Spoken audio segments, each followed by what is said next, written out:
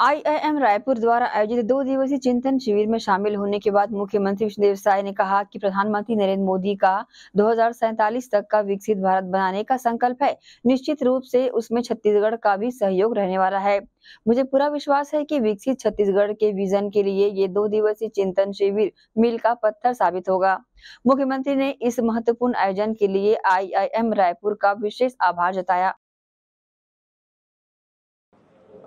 IIM Raipur में छत्तीसगढ़ मंत्रिमंडल के सामान्य सदस्यों का दो दिवसीय चिंतन शिविर का यहाँ पर आयोजन हुआ है और ये आयोजन आईआईएम रायपुर ने किया है। तो उनको सबसे पहले तो धन्यवाद।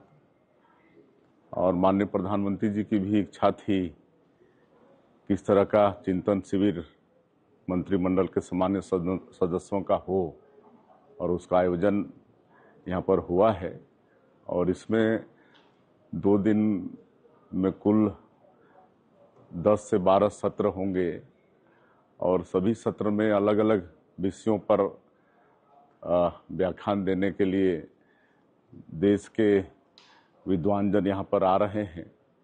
पहला सत्र नीति आयोग के चेयरमैन सुब्रमण्यम जी का था।